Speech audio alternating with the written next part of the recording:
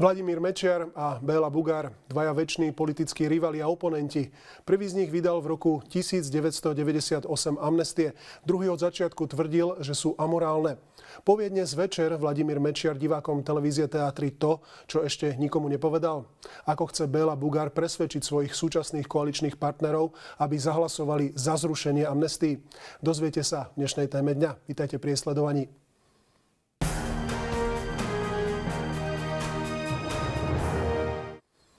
Minulý týždeň uplynulo už 19 rokov od rozhodnutia vtedajšieho premiéra Vladimíra Mečiara udeliť amnestiu za trestné činy súvisiace s únosom prezidentovho syna. Niektorí politici už roky volajú po zrušení amnestii, zatiaľ neúspešne. Tento príbeh sa však neskončil. Onedlho budú mať poslanci ďalšiu možnosť túto kapitolu slovenských dejín zmeniť. Zavlečenie Michala Kováča mladšieho mala údajne na svedomí Slovenská informačná služba na čele s Mečiarovým mužom Ivanom Lexom. 31. augusta 1995 8 muži Kováča odvliekli do auta, omráčili a opili. Ja som sa pokusil z toho auta, i keď som mal teda putátu kuklu na hlavu, vyskočiť. Hej, až vtedy teda začali používať násilie a vtedy sa začali vyhrážať, e, že ma zastrelia. Prezidentov syn sa prebral v kufri auta pred policajnou stanicou v rakúskom Heimburgu. Tam ho našla rakúska polícia.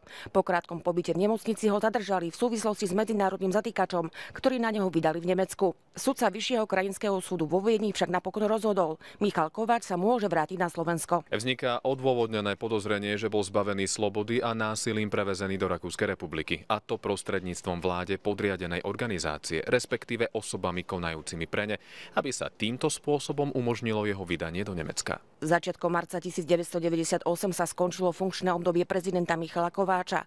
Jeho právomoci sa ujal vtedajší predseda vlády Vladimír Mečiar a okamžite ich využil. Nariadujem, aby sa nezačínalo a ak sa začalo, aby sa zastavilo trestné stíhanie za trestné činy spáchané v súvislosti so zavlečením Michala Kováča mladšieho do cudziny. Mečiar amnestiami zabezpečil únoscom beztrestnosť. Tu by mohla zrušiť zmena ústavy. Ani jeden z doterajších pokusov však neprešiel. Rozhodnutie je, že skutok sa nestal.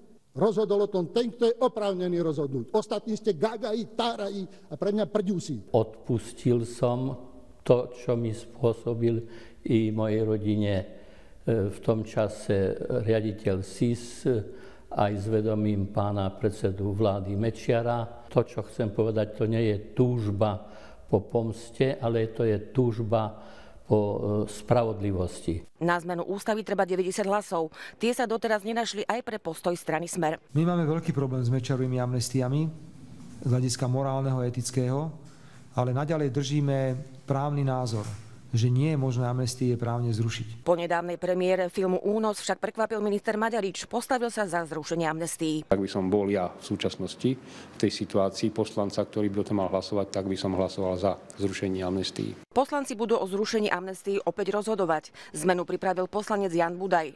Najnovšie premiér prekvapil svojim názorom. Do hry by mohol vstúpiť ústavný súd. Možno najlepšou cestou by bolo, keby sme dali ústavnému súdu právomoc ešte predtým, ako budeme hlasovať o ústavnom zákone o zrušení amnestií, že či vôbec takýto postup je možný. Ak ústavný súd povie, že je možné zrušiť amnestie prezidenta, v tomto prípade amnestie Vladimíra Mečiara. Nevidím žiadny dôvod, prečo sme tak nemohli urobiť. Opačný postup by zvolil koaličný poslanec a ústavný právnik Peter Kresák. Ten by najprv schválil zrušenie amnestii v parlamente. Následne, a to len v tomto prípade, by ústavný súd dodatočne posúdil, či je to právne čisté.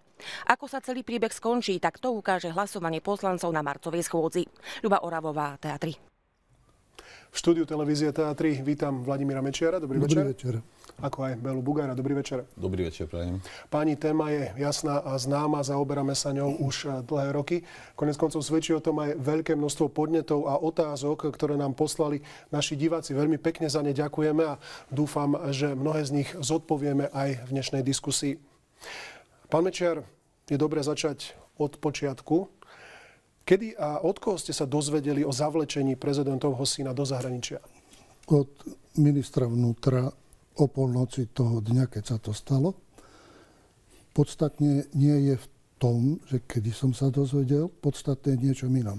Ale prvý krok Dovolte, aby som poďakoval šéfovi vašej televízie a vám osobne, že ste jediné médium, ktoré mi za roky dávajú šancu verejne vystúpiť a obhájiť sa, hoci útoky trvajú niekoľko rokov, bez možnosti mojho vyjadrenia. Ďakujem. Druhá vec je, ktorá súvisí s amnestiami, že sa zbytočne hovorí o amnestiách, pretože amnestia bola len jedna. Nevydal som mu osobne ako predseda vlády, pretože kompetencie z prezidenta prechádzajú na vládu a v rokovaní, ktoré bolo v prezidentskom paláci, to znamená bez ozvučenej techniky, kde sme rokovali o prevzatí kompetencií prezidenta, sa rokovalo o viacerých veciach a okrem iných na záver aj o politickej situácii a problémoch, ktoré za vlády pána prezidenta vznikla, čo sme hodnotili ako politické a kriminálne e, problémy jeho rodiny, ktoré sa spolitizovali a zasvinili celé Slovensko.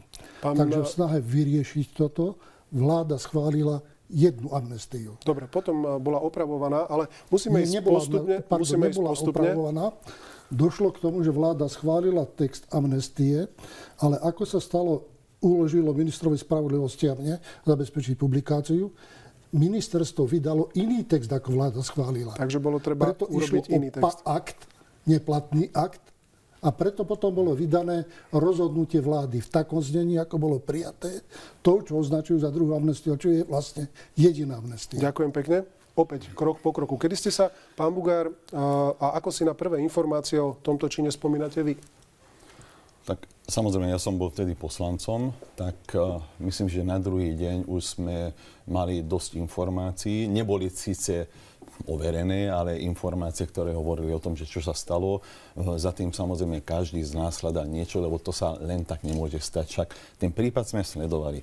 Keď, keď si zoberete, že fakticky prípad Technopol sa začal v 92. roku. Ale tie vzťahy, ktoré povedzme Vtedajší premiér, pán Mečiar, mal napríklad s vtedajším prezidentom Kováčom, sa vyhocovali. Však pán e, prezident Kováč napríklad odmietol vymenovať pána Lexu za uh, riaditeľa SCF v 93. roku. Potom, uh, po ďalších voľbách v 94. roku, uh, tedajšia vaša vláda zmenila zákon a za, na základe toho Lexa sa stal potom riaditeľom SCS a dokonca vtedy už, už boli prvé náznaky také, že že pán Kováč je nežiadaná osoba. Však vieme, čo všetko na jeho adresu to potom bolo povedané. to ako vývoj? No a to znamená, že ten vývoj vyzeral tak, že je tu napätie a to napätie nejakým spôsobom niekto chcel vyhrotiť. A nakoniec, však keď si zoberiete, kedy bol unesený uh, Kováč mladší, ak to môžem takto povedať. 31. augusta 95. A 30, teda 12. septembra 95 bolo zorganizované na nemeckom veľvyslanectve normálne pred nemeckým prokurátorom, aby mohol vypovedať tu na Slovensku, tu v Bratislave. Uh-huh. No nakoľko bol unesený, samozrejme, ako keby sa niekto bál, že povie to, čo je pravda. Že on nikdy nebol zamestnancom Technopolu, že nemôže byť obvinený z toho, čo, z čoho je obvinený a dokonca ho obvinuje človek, ktorý v úvodzovkách bol najatý. Ďakujem pekne. Pán Mečiar, dnes už málo kto popiera, že sa na tomto čine zúčastnila Slovenská informačná služba. Čo si o tom myslíte vy? Popierate to, alebo príjmate túto informáciu? Tento prípad má nejaký vývoj. Musím pána Bugara opraviť. Je podstatne mladší, ale pamäťovo horší. V roku 1993 bol za šéfa SISKým navrhnutý pán Mitra a bol schválený. Lexa tam nebol. Ďalej musím pokračovať v tom, že nezhodli sme sa v celkom námestníkoch, ktorý, kde navrhoval Mitro svojho námestníka, človek, ako ktorom som vedel, že je angažovaný v iných spravodajských službách. To bol celý problém okolo Sisky v tom čase. Žiaden iný nebol. Ale myslím, Druhý, že s pánom Lexom bol ten problém, že nebol vymenovaný, alebo pán prezident ho odmietol vymenovať. O roky, kedy sa tento prípad vyjemal, začínal vlastne v tom, čo ste firmu pomenovali. Začínal v roku 1992 a on sa vliekol a vlečie do dneska s tým, že Michal Kováč, keď bol predseda federálneho zhromaždenia, bol pozvaný do Technopolu, aby im pomohol z federálnych fondov vyrovnať straty, ktoré mali v zahraničnom obchode. Túto pomoc im prislúbil s podmienkou, že dostane za to úplatok. Ďalej bolo dohodnuté, že tento úplatok bude poukázaný na firmu jeho syna. Kedy a v akej sume? To sa stalo. V tejto firme boli štyria spoločníci, pretože nedošlo k plneniu podľa, toho, podľa tejto sumy začali na podnet istého Holandiania trestné stíhanie v Nemeckej spolkovej republike pre trestný čin podvodu. Dvaja zo spoločníkov peniaze si podelili. Na štvoro boli odsudení a vykonali trest odňatia slobody. Dvaja boli na Slovensku, pán Kočner a pán Michal Kováč mladší a trestné stíhanie voči ním bolo začaté, o čom sme nemali ani tušenia. Keď prišla prvá správa z Nemeckej spolkovej republiky, že proti Michalovi Kováčovi bol vydaný medzinárodný zatýkač, pán prezident vystúpil a povedal, nie je to môj syn. Ja som si osobne myslel, že to náš poslanec, ktorý bol toho istého mena. Pokiaľ išlo o ďalší vývoj, tak musíme povedať, že vlastne sme sa touto vecou nezaoberali a bola nám cudzia do doby, kým minister vnútra na istej porade na Južnom Slovensku, kde bol prítomný generálny prokurátor, ja, predseda parlamentu, minister vnútra, neprišiel a neopýtal sa nás, že či bude politická prekážka, ak začnú trestné stíhanie Michala Kováča mladšieho pre podozrenie z viacerých finančných podvodov v objeme sumy 280 miliónov slovenských korún. Dobre, opäť to má svoj vývoj. Ak dovolíte moju otázku, by som zopakoval. Dnes už málo kto popiera, že na tom čine zavlečenia slovenského občana Ešte do cudziny sa podielala Slovenská informačná služba. Čo si o tom myslíte? Tento súhlas bol daný s tým, že to nie je politický problém, že je to právny problém. Ak sú dôkazy, nech sa tam stane táto porada bola mesiac pred zavlečením Kováča do cudziny. Čiže my sme vedeli, že bude Kováč mladší trestne stíhaný, že pravdepodobne dôjde k vyšetrovacej väzbe. Čiže štátny orgán, ktorý robí na tom, aby došlo k jeho väzbe na Slovensku, má súčasne robiť, aby mu umožnil odchod do Rakúska a nebol stíhaný. Takže vy to popierate, že to bola Slovenská informačná služba? Mohol niekto v Siske o tom vedieť ale Slovenská informačná služba to neurobila. Ten, koho som ja podozrieval, bohužiaľ nežije. Na to, aby mohol dať tie veci vysvetlenie, ani som ho nekontaktoval. Ale pána Sviechotu, pán Mečiar? Myslím pána Sviechotu, ktorú som z celej duše nenávidel. Mal som na to osobné dôvody. Ďakujem pekne. To robiť. Ak, ak môžem, pán no? Mečiar, viete, väčšina z toho, čo ste povedali, to je fabulácia. Nie, to je všetko no, pravda a no, Ja, ja, ja vám poviem, že nie. Vy hovoríte o tom, že síce som mladší, ale strácam pamäť, alebo teda si nepamätám niektoré veci. No tak napríklad vám prečítam niečo, čo je dokonca uh, z materiálu, z obžaloby, čo pán uh, prokurátor Sebrín pripravil. A nemôže samozrejme sa zrealizovať, lebo bohužiaľ sú tam na meste. Kde vyslovene je napísané napríklad aj to, že nie deň potom, od ministra Hudeka ste dostali informáciu, ale okamžite ten deň vás vyvolal pán Lexa, riaditeľ SIS, ešte z vlády a vás informoval v priebehu 20 minút o tom, že čo sa stalo. To je jedna vec. Druhá vec, viete, hovoríte o tom, že vy ste navrhli Mitra. Áno, ale potom, keď pán prezident povedal, že pán Lexa nie je morálne spôsobilý robiť, a to, to citovali aj médiá, nie je morálne spôsobilý robiť riaditeľ SIS. A teraz povedzme o tom, že dobre hovoríte, že bol medzinárodný zatýkač e, vydaný na pána Kováča mladšieho v 94. roku. No dobre, ja na náhody neverím. A pán Krylov, o ktorom hovoríme, ktorý, ktorý bol už vtedy zavretý za niečo iné, zrazu v 94. roku, v novembri, začal si pamätať niečo také, že pán Kováč mladší, že bol spolupáchateľom. To je zaujímavé, že mesiac predtým tam bola vaša pracovníčka priamo v Mníchove, uh, ja to neviem dokázať, ale bola priamo v Mníchove pani Naďová. Samozrejme, ona nebola vo väznici, ale tam chodili, myslím, že matka a ešte niekto iný za pánom Krylovom. Dobre. Zrazu, hovorím ešte raz, dva roky potom, keď sa začal Technopol vyšetrovať, zrazu človek, ktorý bol ešteba, ktorý bol vyslaný napríklad, je dôvodné podozrenie, že ten výbuch pri Slobodnej Európe e, mohol byť aj jeho pričinením.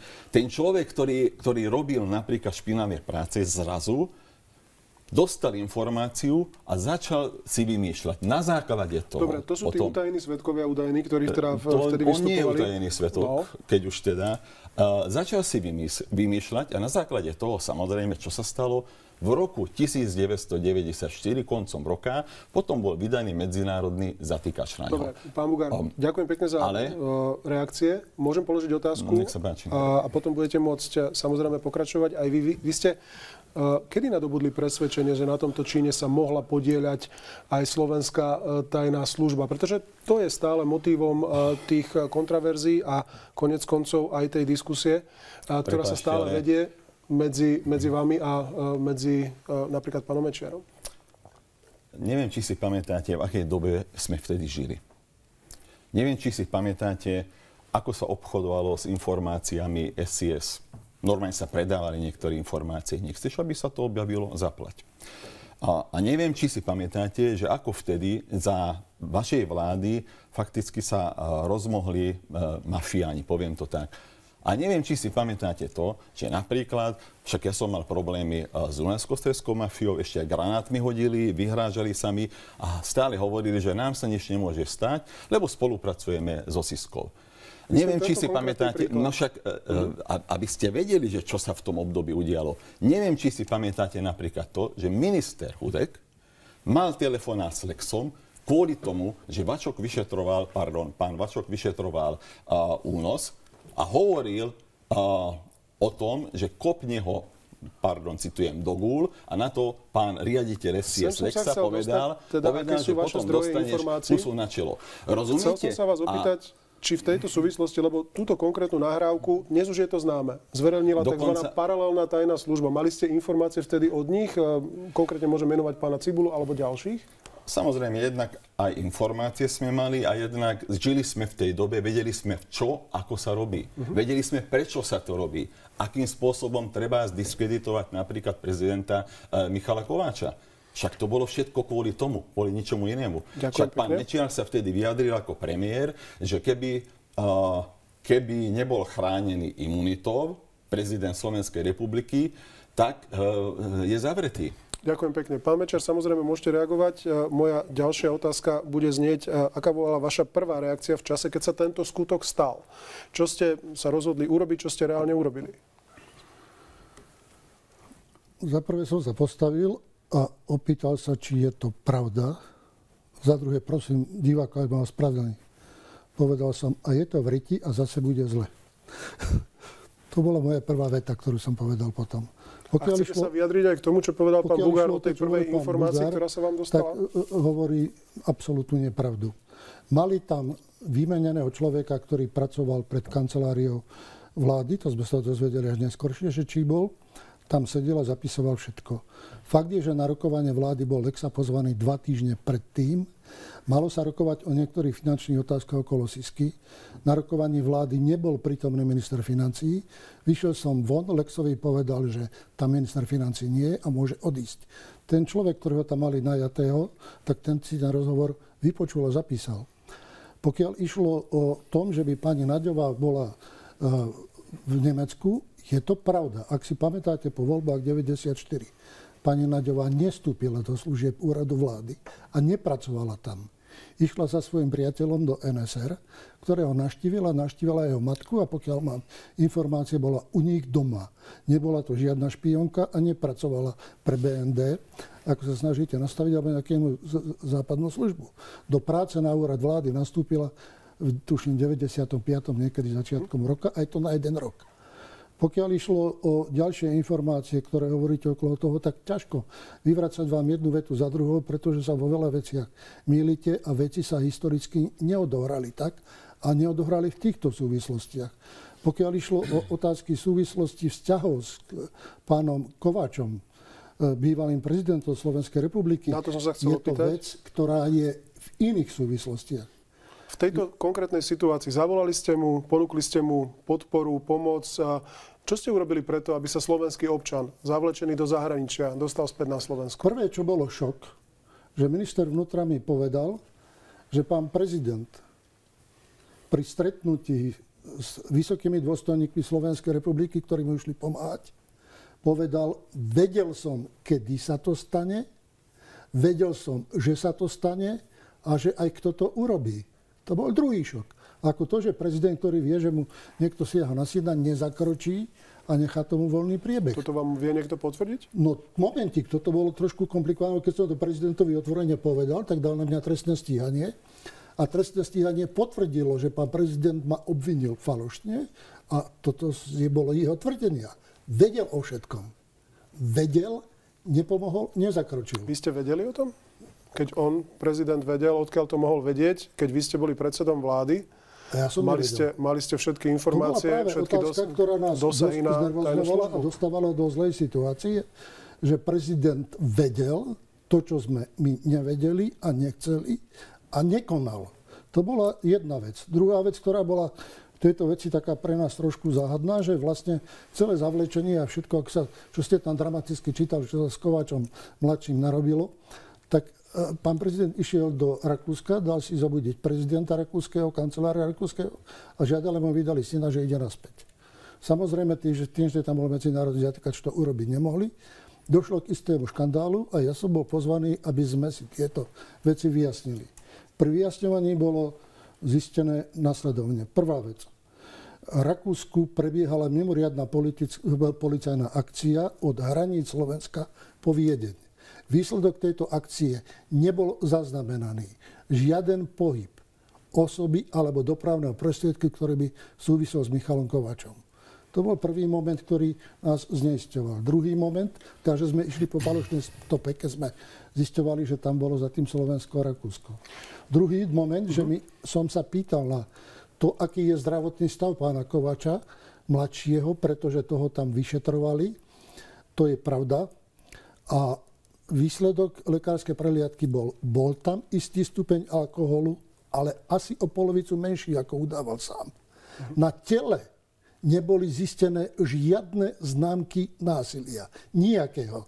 To znamená, že to bolo fabulované a domysledné dokonca. Dobre, Ďalej, poznám, poznám aj ten príbeh, veciach, ktorý sa kedysi hovoril o, o samounose a tak ďalej. Budeme sa môcť k tomu tam, dostať. Ešte, Ale aby ste tých, dostali obidvaja rovnaký priestor, že nech sa keď páči. hovorí o tom chlapovi, ktorý mal vyhadzovať slobodu Európu, o tom nič neviem, ani neviem, kto to je, ani čo to je, ale viem o jednej nahrávke, ktorú urobil jeden zo tých štyroch spolupáchateľov pána Kováča mladšieho. Bolo to v istom bordeli v Raku, vo Švajčiarsku, kde pán Michal Kováč mladší žiada istého chyla vtáka o zbraň alebo strelca, alebo potrebuje zlikvidovať Mečiara. Ďakujem pekne. Pán tá nahrávka sa zatiaľ nezjavila. Nezmení. Pán Bugár, nech sa páči, môžete reagovať aj vy. Ako ste reagovali vy v tej situácii? Kontaktovali ste prezidenta, mali ste Prepáčte, musím, nejakú možnosť musím, mu pomôcť? Môžete samozrejme reagovať. No nie, že môžem, ale musím. Viete, musím vám povedať, že ste sa nezmenili. Ale na čo? No, no však práve to je najväčší problém. Viete, na vašom mieste, a ja by som minimálne teda a, sa ospravedlnil. Viete prečo? Hovoríte také klamstvá, že prezident vedel o tom a nekonal. Prezident urobil všetko preto. Trestnom stíhaní no, potvrdené. No, ale viete, Vylúčujete čo? závery orgánov činných trestnom konaní? No, viete, ako ste robili vtedy trestné stíhania? Ako? Však ste menili napríklad ohľadne Technopolu, aby mohol byť obvinený a prezidentov syn trikrát. Trikrát toho, ktorý ako vyšetrovateľ mal to dokázať. Dvaja to nedokázali, až tretí. Takže nehovorte mi, ja viem, čo, čo sa vtedy robilo. Takže nehovorte, že nekonal. Konal hneď, ale normálne konal.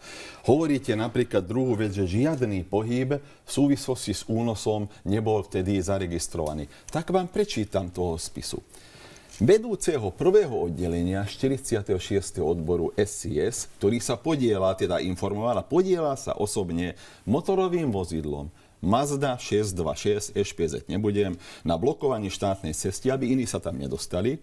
Potom osobným motorom vozidla, e, teda Seat Toledo červenej farby, spredu zablokovali, z boku so Seatom Ibiza a tak ďalej. Všetko zadokumentované. Tam sú čísla. Toto tam sú, sú normálne... Moment. vyšetrovacieho spisu, ktorý Áno, je utajený. Ďakujem. No nie je utajený, už sa to objavilo dokonca Videli aj, aj sme dnes. ho viacerí, ale v no, súčasnosti utajený. Ale, ale musím povedať, uh-huh. tam máte normálne uh, preverené uh, na základe telefonátov. Na základe e, spisov, že kedy, aké auto a na čo použili. Hodiny sú tam, to znamená, že tam je to všetko zachytené. Ktorý povedzme, siskár vymenil ďalšieho siskára priamo na hranici, keď čakali na informáciu od toho pána z vedúceho prvého oddelenia 46. odboru SIS, či už to urobili, alebo ešte to neurobili. Takže mi nehovorte, že sa to nestalo, lebo to sa nedá vymyslieť. Nedá sa vymyslieť telefónne číslo, s ktorým napríklad riaditeľ SCS Lexa telefonoval rôznym ľuďom. Že už sa to urobilo, že všetko je v poriadku, potom informoval aj ďalších. Číslo telefónu je v tom spise a sú tam ďalšie veci.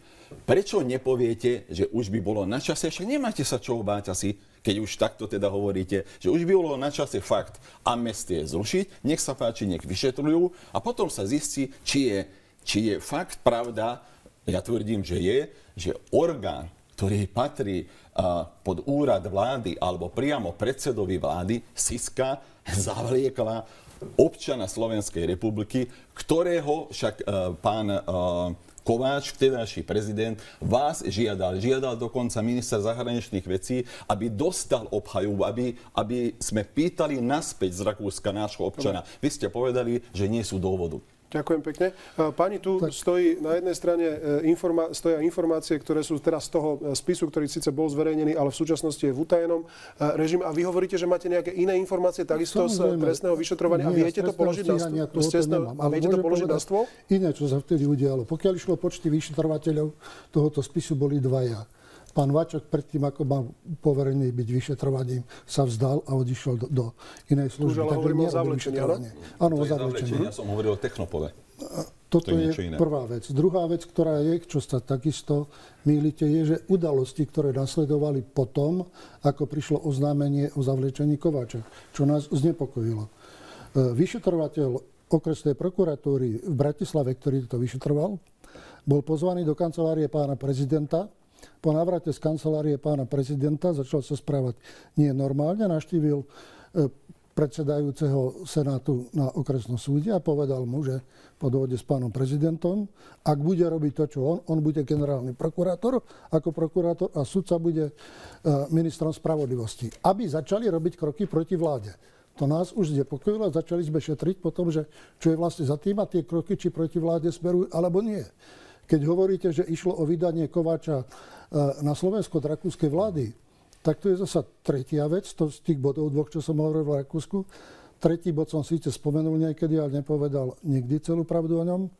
Na rokovanie, ktoré som mal s pánom prezidentom Klestilom a pánom kancelárom rakúskym, som oboch požiadal, že my svoje politické problémy nechceme vynášať do zahraničia, a preto prosím, ak budú mať vplyv a možnosť, aby nám Kováča naspäť na Slovensko vrátili. Pokiaľ išlo o to obdobie jeho vrátenia naspäť, tak už bola situácia iná, lebo na dobu pobytu, čo bol Michal Kováč mladší v Rakúsku, to trvalo 6 mesiacov. E, mal voľný pohyb v Rakúsku, kde svoj prekročiť hranicu. Na doby pobytu dostal zo zahraničných zdrojov 100 tisíc dolárov, ktoré nikto nepoprel. Jeho rodičia dostali na podporu milión dolárov, ktoré tiež nikdy nepopreli, pretože poznám toho, kto to dával.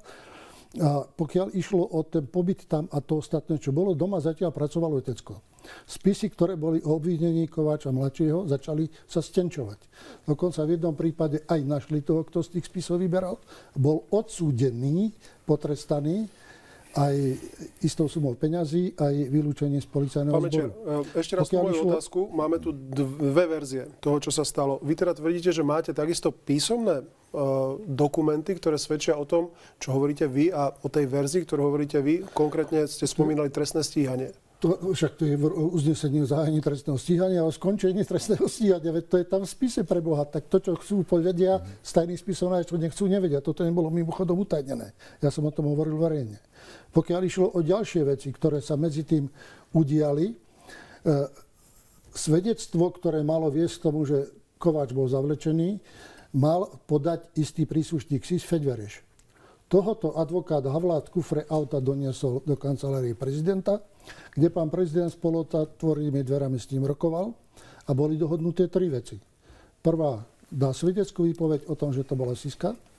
Druhá, dostáva doživotnú amnestiu, čo dostal. A tretia, odíde do zahraničia, kde mu bude komplet hradený jeho pobyt. Vtedy na tú prvú várku mal dostať 3 milióny a mal mu z okolností, dva alebo tri, zaviesť to práve nebohý, ktorého smrť mnohí zneužívajú, ale nesúvisela s prípadom. Takže toto je takisto pravda a tiež sa to stalo a bolo to. Pokiaľ išlo o vývoj ďalej, došlo k druhej amnestii pána prezidenta, to boli tie trestné stíhania na území Slovenska, kde amnestoval svojho syna a istého pána Kočnera z týchto trestných činov a boli obaja zbavení z odpovednosti, nikdy peniaze nevrátili, nikdy sa im nič nestalo a bolo všetko v poriadku. Dobre. A došlo k tretiemu kroku. Pretože prezident bol, ministerstvo zahraničných vecí robilo, čo malo, ale išiel on na návštevu, ktorú mu ministerstvo zahraničných vecí sprostredkovalo. Na oficiálnu návštevu Bavorska, pri ktorej si vybavoval zbavenie trestného stíhania pre svojho syna a s advokátom našli fintu, že ak by mal diplomatickú imunitu, nemôže byť trestne stíhaný.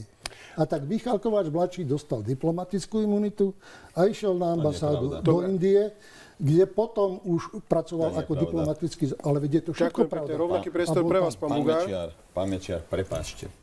Jednak nedostal amnestiu, dostal milosť. To je rozdiel, to dobre viete. On dostal milosť. Viete, prečo dostal milosť? Lebo v 95. roku konečne v prípade Technopolu padlo obvinenie.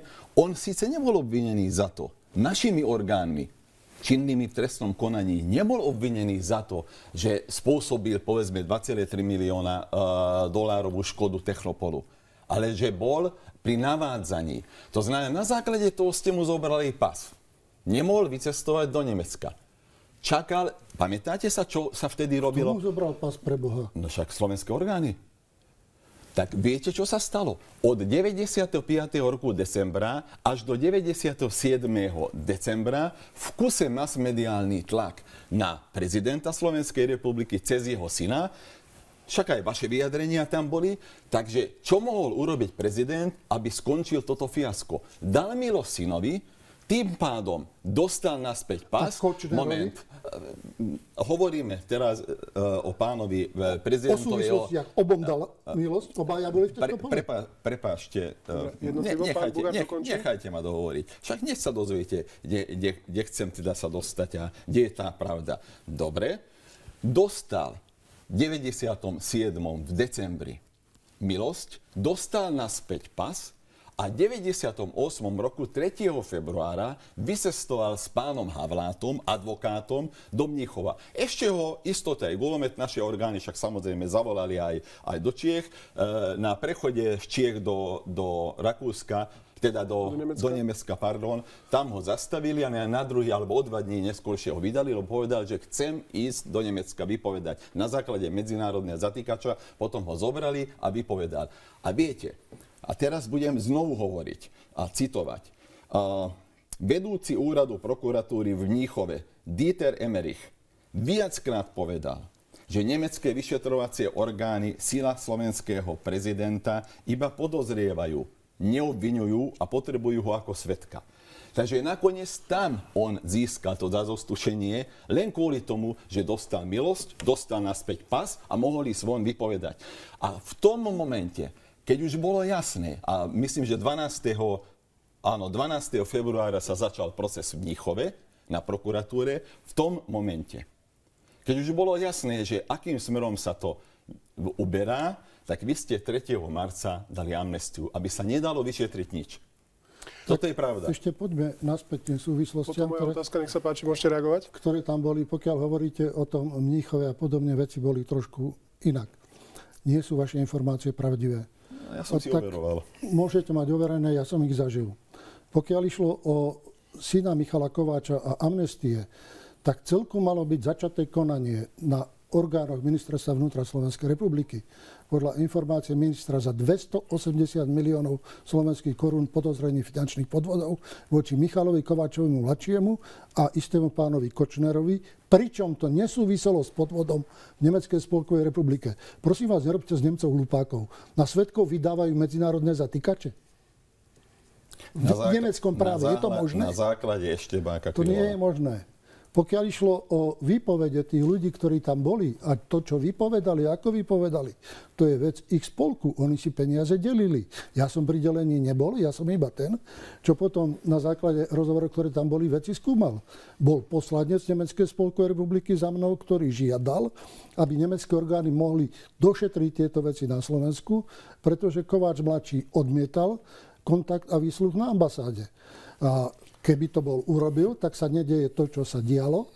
A nechápem, prečo mal mať úľavy oproti iným občanom, len preto, že bol prezidentov SID. A nechápem potom, prečo všetci, na ktorých sú vydané medzinárodné zatýkače, nedostanú diplomatické pasy a povedť zahraničí krytý imunitou. Pokiaľ ide o tieto veci, nie pochybností. Prezident tieto veci zneužíval. Ďalej do tohoto procesu sa namočili iné osoby. A to budem potom hovoriť ďalej. Pán Mečer, stále sme ale v situácii, ktorá sa stala pred tým skutkom, o ktorom sa veľmi diskutuje. A zavlečenie nášho občana do zahraničia. Hneď keby toto všetko bola pravda, čo hovoríte. Je to pravda. A je ten skutok e, z tohto hľadiska oprávnený, ospravedlniteľný a niečo podobné? Chcem pokračovať ďalej. Pokiaľ Len išlo, mi odpovedzte na otázku, Pokiaľ prosím. išlo ten skutok, ktorý sme urobili, bol na najvyš humánny, ospravedliteľný a Ľudský urobený a vo vláde hodnotený zo všetkých strán. Ktorý teraz myslíte tú amnestiu? Tú amnestiu, Ja myslím ale zavlečenie Michala Kováča mladšieho. Poviem všetko, že prečo bola amnestia udelená. Pokiaľ išlo o zamestnenie Kováča mladšieho, tak angažovali sa do toho aj druhí ľudia. Pobyt Fedvereša v zahraničí stal veľa peňazí. Bolo to treba platiť. Šetrením bolo preukázané, že peniaze a platby na seba zobral e, Jan Čarnogurský a Milan Kňažko či chcete Kováča, či chcete Kňažka, boli to bolo kedy moji podpredsedovia. Tieto peniaze išli cez nich a oni platili a zdržiavali pobyt korunného svetka v zahraničí. Preto vyšetrovateľ ešte dávno pred amnestiou zastavil vo veci trestné stíhanie a trestné stíhanie nepokračovalo. To bolo ešte pred amnestiou. Ale napríklad vám tým... poviem to, čo som sa dozvedel ja. Jedným z ľudí, ktorí kontaktovali pána Feďvereša, bol vtedy v Budapešti, to už dnes môžeme povedať. Tam bol to jeho miesto, kde sa teda nachádzal mimo hraníc Slovenska. Jeden bol pán Remiáš a druhý bol Miloš Lauko. Tak. Bývalý šéf študentského hnutia počas Nežnej revolúcie. On hovoril, že ako náhle sa podujal na túto úlohu, tak Slovenská informačná služba ho dennodenne kontrolovala kontrolovala, prenasledovala v autách, zastrašovala a tak ďalej. Koho to bola práca? Moja informácia je úplne odlišná, pretože tam boli dvaja ľudia, ktorí ešte kontaktovali uh, Fedverešiu, ja som o tom nevedel, že ho kontaktujú. Až naraz prišla informácia od uh, jednej z vlády, jednej členky vlády, že sú dvaja ľudia, toto bol jeden z nich, ktorí by radi mali so mnou kontakt a chceli by mi situáciu vysvetliť. Áno. Žiadal som, čo to bolo a čo to je.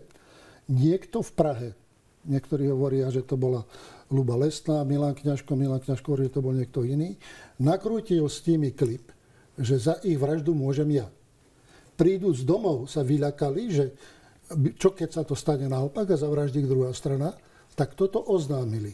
Keď som dostal toto oznámenie, okamžite som využil svoje právomoci a dal im osobnú ochranu z úradu na ochranu ústavných číteľov. To znamená, tí ľudia, ktorí ich dovtedy molestovali, ktorí ich dovtedy prenasledovali, zrazu, ne, e, zrazu uh, to prestali na váš pokyn, ale...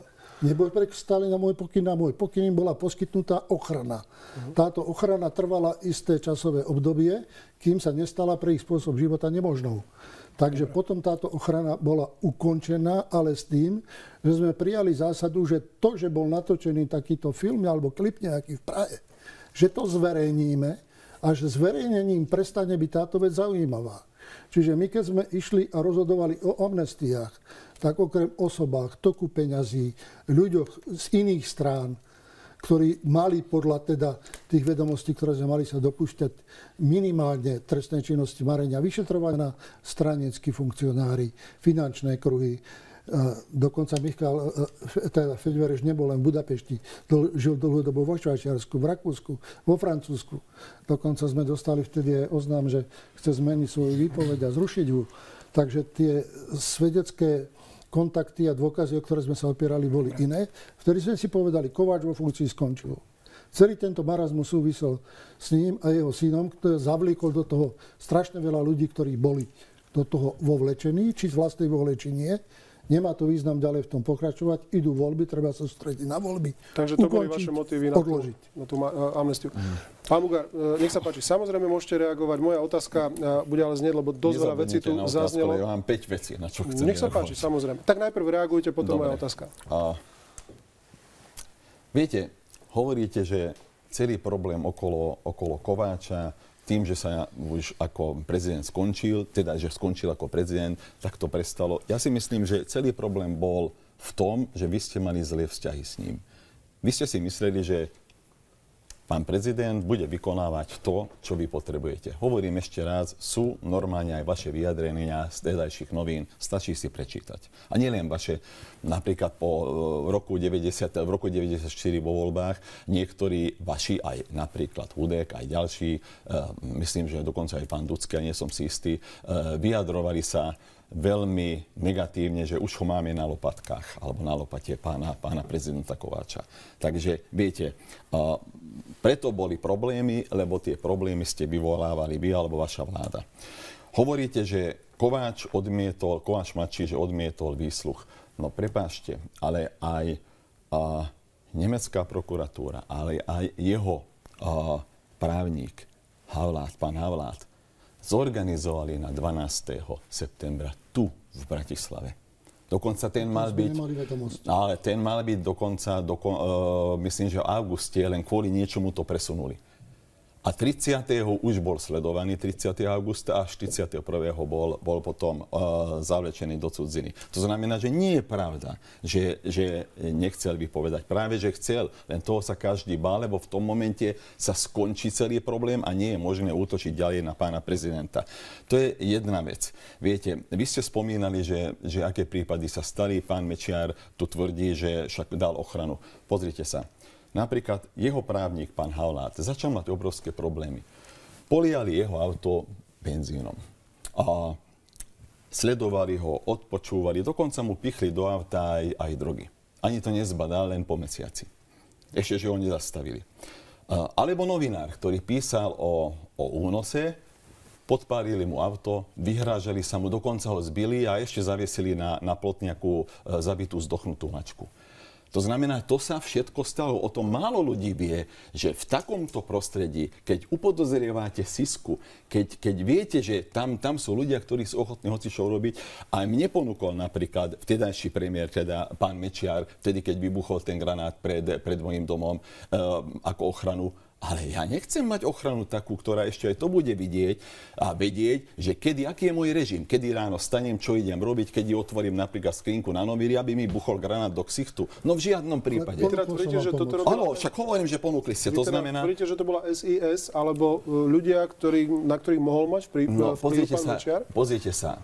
Samozrejme, aj SIS spolupracovala s rôznymi ľuďmi. Aj, povedzme, s posvetím. Lebo to nie je pravda, že oni samozrejme boli alebo mali svojich ľudí pod sveti. Nie, dokonca im dávali aj úlohy. Už dvakrát tu oznel napríklad meno pána Remiáša. Aj vy ste to spomínali. No ale tam sú podozrenia, však stačí si prečítať niektoré vyjadrenia napríklad um, tých, ktorí vtedy to vyšetrovali, že, že tam je to jednoznačne, že to bol výbuch. Nie je pravda, že, že uh, plynová bomba tam vybuchla. Že, že ten človek bol, bol uh, musel byť ostránený, aby som nehovoril veci, ktoré teda nemám. A tak ďalej, a tak ďalej. Viete, na vašom mieste, nemyslíte si, pán Mečia, že by bolo aspoň také zadostučenie prísť za pani Remiášov a povedať, že, že či som vedel, nevedel, ale sa ospravedlniť. Za čo? No to, čo sa stalo uh, jej synovi. Za to. No, lebo však jej syn bol zabitý.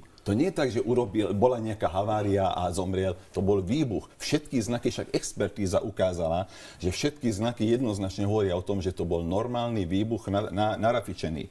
A vy hovoríte, a teraz poďme k tým amnestiam, lebo už som to počul dvakrát, že že museli ste amnestie vyhlásiť, aby neboli stíhaní rôzni politickí činitelia, e, finančníci a tak ďalej. Áno, v tej prvej amnestii píšete 3. 3. marca, že ako príspevok k dosiahnutiu občianského zmieru v záujme odstranení možných zdrojov napätia spoločnosti, nariadenie a tak ďalej, aby sa nezačalo, ak sa začalo, aby sa zastavilo a teraz trestné stíhanie za trestné činy spáchané. To znamená, že ako keby v tom prvom bolo uznané, že to sú trestné činy, ktoré boli urobené. Až potom sa to opravilo. Ale viete, čo, čo hovorí napríklad prvý senát pána Šafárika na ústavnom súde? keď pán Zurinda za našej vlády, ako ešte vykonával, e, pokiaľ nebol zvolený vtedajší prezident Schuster, e, vykonával jeho právomoci, tak to zrušil. A práve pán Šafárik, povedal, teda ústavný súd, fakticky prvý senát, že nie je možné sa vrátiť. To znamená, prezident alebo zastupujúci prezident nemá právo zmeniť predchádzajúcu, uh, povedzme, amnestiu. To znamená, že aj u vás sú polemiky. Uh, niektorí tvrdia, že platí amnestia z 3.3 a nie zo 7. E, júla, alebo myslím 7. júla. Dobre, keď ste sa už dostali, ak ste už teda reagovali uh, tak, ako ste chceli, uh, k tým jednotlivým amnestiám, respektíve milostiam a už prejdeme teda do súčasnosti. Ešte musím volať čo povedať. Dobre, nech sa páči. Prvá granát vybuchol vám, ale susedovi vo dvore. Bola vám ponúknutá pomoc pravda. a ste povedali, že sa necítite byť ohrozený, preto ste túto pomoc odmietli. Druhá vec, pokiaľ ide o meno Remiáš, prosím vás, skončite s touto špinavosťou nezneužívajte tragédiu života tohoto mladého človeka. Ktorý bol zabitý. Na to, aby ste okolo nej politikárčili. Ktorý Pokiaľ išlo o vyšetrovanie v tejto veci, viedla ho prokuratúra, viedla to policia, nikto si nedovolil do toho zasahovať. Moja iniciatíva bola, aby vyšetrenie prebehlo čo najskôr a čo najlepšie a odhalil sa páchateľ. Ak sa neodhalil páchateľ políciou, tak odhalilo sa určite niečo iné, že generálny prokurátor a špeciálny prokurátor na tlačovke oznámili, že konanie voči štátnym orgánom sa, zakazuj, sa zastavuje, lebo nie, nie dôkazu, že by akýkoľvek spôsobom sa podielali na smrti. A teraz sa vás opýtam, keď to chcete oživovať, máte čo len jedinú jednu vec odtedy, čo generálna prokuratúra zastavila tieto stíhania voči štátnym orgánom, ktorí by toto preukazovali. Klamete, pán Bugár, a sprosto zneužívate tragédiu nešťastného človeka. A Dobre, keď hovoríte o spravedlňovaní, tak ešte vám poviem... expertízneho ústavu, ktoré hovorili, že tam bol nástražný systém. Samozrejme. Boli aj informácie také, že vražda to mohla byť, mohla to byť tragická udalosť. Nevyvracam ju, ja len tvrdím to, čo tvrdí generálny prokurátor. Neboli to štátne orgány. Neboli to štátne orgány. Dobre. A na to stanovisku dotrvávam. A druhú vec ešte, čo vám chcem povedať.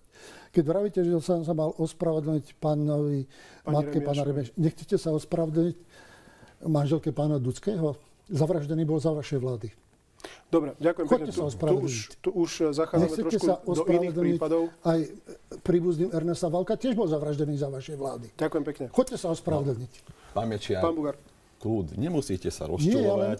Nie, nemusíte sa rozčulovať. Viete, problém, nie, nie, je to rovnaký. Nie, nie je to rovnaký. Preto to nie je rovnaký, lebo napríklad aj, neviem, či si dobre pamätám meno prvého vyšetrovateľa uh, prípadu Remiáš. Šarovský sa mi zdá. Ja si nepamätám. Tak, tak nejako. Však ten normálne aj do novín dal že áno, ja som začal uh, uh, zisťovať. Expertíza samozrejme preukázala, že to bol výbuch, nastražený výbušný systém, takže o tom niečo, čo teda diskutovať. To je jedna vec. Druhá vec hovorí, že zmizli dokumenty. Zmizli normálne zaistené materiály e, z miesta výbuchu a každý sa vyhováral na to, že ako sa to prosúvalo z jedného miesta na druhý. Prečítajte si to, ja ho teraz citujem. To znamená, vtedy všetko zmizlo. Preto sa to nedalo, ale ani to nie je pravda, lebo keď sa to nedalo zistiť, nedalo sa zistiť ani to, či za tým bol nejaký z orgánov, ako ste to spomínali, alebo niekto iný, alebo náhodou, však boli informácie, ne, nedá sa to potvrdiť, ja to duplom neviem potvrdiť, ale tie informácie boli také, že bol poverený, však niektorí e, z mafie sa chválili s tým, že my sme dostali za úlohu a my sme to aj vykonali. Nechcem povedať meno toho človeka, ktorý vyslovene sa s tým chváli, že dostal takúto úlohu. Dobre, Takže viete, no, hovoríme pravdu. Za prvé skončíme už tieto budovanie ktorý už tiež po smrti histórie, do že my sme mali niečo s mafiou. Kedy boli zatknutí mafiáni? Kedy to začalo? Koľko ľudí z policie a Sisky zahynulo a bolo zavraždených v boji s mafiou v boji mojej vlády? Eh, Dobre začínate, hneď vám a poviem. Teraz vám ešte poviem aj ďalšiu vec, ktorá sa mi Pani, nepáči. sa trošku odkláňame od témy. Dokončite, nech sa páči. Nie len o týchto súvislostiach, ale aj o tom, čo nasledovalo potom, ako Zorinda sa pokúšal zrušiť amnestiu, čo samozrejme nie je možné a ústavný súd to povedal, že ako to vyšetrovanie prebiehalo bolo zatknutých na 3 mesiace 5 príslušníkov SIS s jedinou otázkou. Povedzte, že Mečiar vedel. Ak poviete, že Mečiar vie, môžete ísť von. Ďalej som čítal vlastnorušte napísaný list istým obžalovaným z viacerých vražd e, Černákom.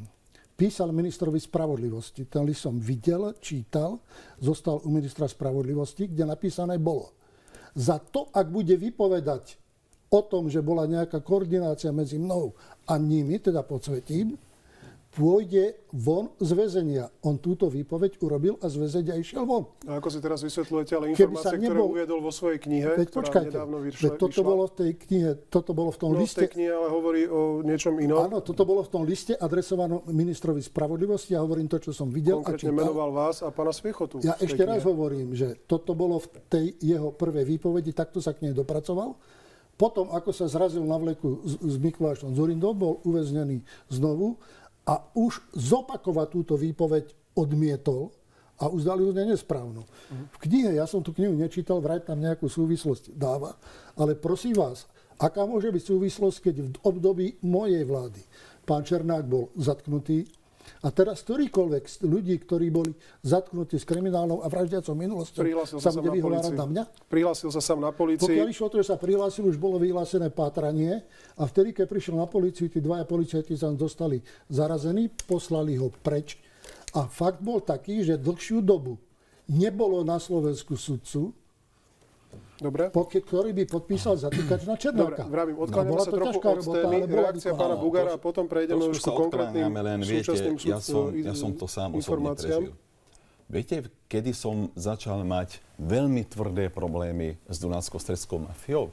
Lebo my sme ešte s jednou novinárkou zbierali informácie, na základe toho boli potom zatknutí priamo na námestí v Dunajskej strede. Ešte ľudia tlieskali im, že kukrači ich zbili. Vyslovene ich zbili, ako ich zatýkali. No a čo sa stalo? V 94. e, vyhrala vaša vláda, alebo vy ste vyhrali, založili ste, urobili ste novú vládu a v 95. roku na základe sudcovského omylu pápajovci sa dostali von takým spôsobom, že pred väznicou normálne čakali limuzíny. A keď som interpeloval ministra vnútra, začal som mať problémy. Až potom hodili granát, sledovali ma e, celú rodinu, aj so zbraňou v ruke som musel chrániť v Dunajskej strede a tak ďalej. Takže mne nehovorte, že ako to bolo s mafiou, pán Mečiar, lebo ja viem, ako to bolo s mafiou. Keď už hovoríte o tom, že kedy Černák bol zavretý a tak ďalej, všimnite si teraz. Teraz sedia a čo je dôležité, spievajú to znamená, že už je možné napríklad zistiť aj to, čo predtým nebolo možné zistiť. Ja tvrdím, že keby sa zrušili amnestie, možno, že by sme sa dozvedeli oveľa viac napríklad aj o Remiášovej vražde. Pán Ja vám tvrdím, že Remiášová vražda bola riadne vyšetrená, prokurátoru vo vzťahu štátnych orgánom uzatvorená a že už prosto nešťastie a tragédiu tohto mladého človeka zneužívate na svoje politické ciele a ťahy. ja nepotrebujem politické ciele vrchol, vrchol neslušnosti. ale v tomto určite nie. Prepáčte, v tomto určite Pachateľ nie je známy. Pachateľ Ja môže ešte byť... povedzte, že skutok sa nestal a mňa šlak trafí. Pachateľ môže... Ale on je mŕtvý. Pachateľ môže byť tak z radou podsvetia, ako môže byť z úplne iných kruhov, kde ho nik, dneska nikto neledá. Dobre, súhlasíte aspoň, s tým, tí, že to bola, súhlasíte aspoň s tým, že to bola vražda, pán Mečiar? Neviem.